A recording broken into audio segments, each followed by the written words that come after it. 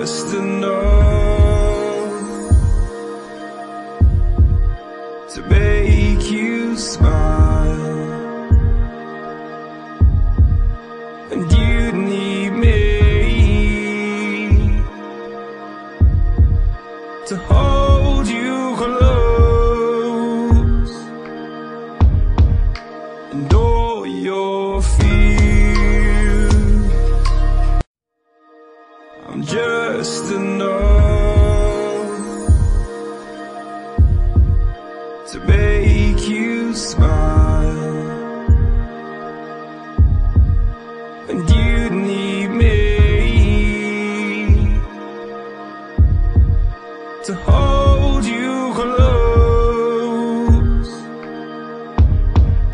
and all your fears.